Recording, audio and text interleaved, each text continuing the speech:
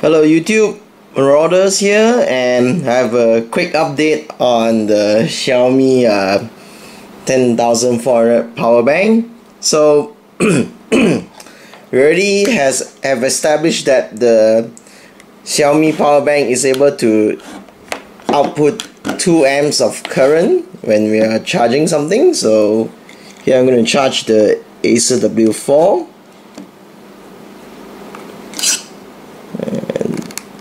it in.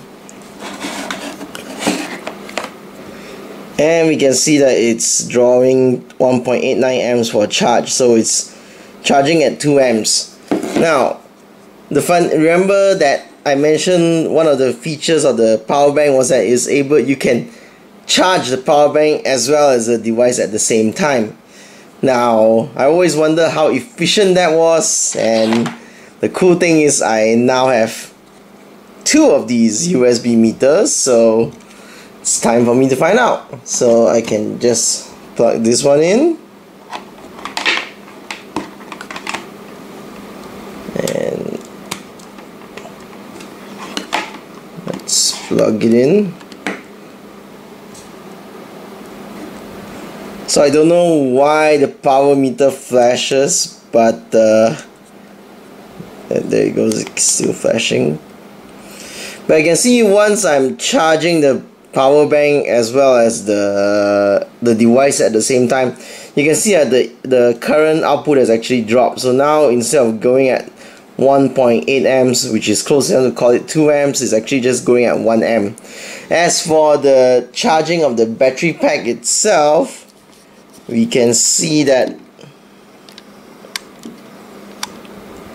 it is at 1.6 amps and we'll drop back down 1.1 hmm. Okay now you can see both of them at the same time so we have here a yeah the problem is that I don't have uh, instructions uh, for this thing so I'm not really sure why is it blinking but I did notice something else there's a little downward arrow pointing on this thing so I wonder is it because that the current is actually dropping? Oh. Now I think I know what's happening here. Now the interesting thing to note here is that this this USB power meter can actually show me the consumption of the current as well as the as well as they call this the charge indicator. They call this the charge indicator to show how much current is actually entering a device from the battery. Now the interesting thing is that this thing isn't moving. Hmm. You can see now it's moving again.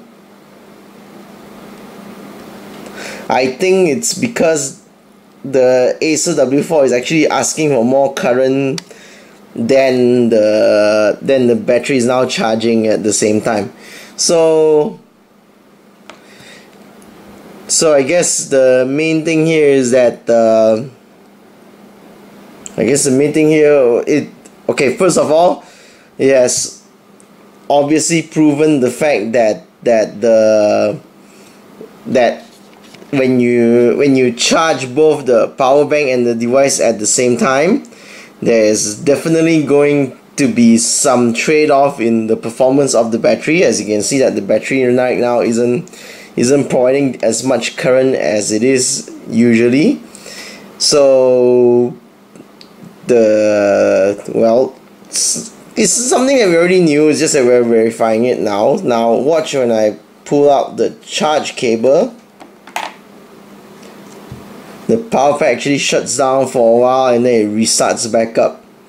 So now it's charging at 2 amps again. Okay so that was just a quick update on this new on the power bank findings. So this is Marauders and I will see you guys around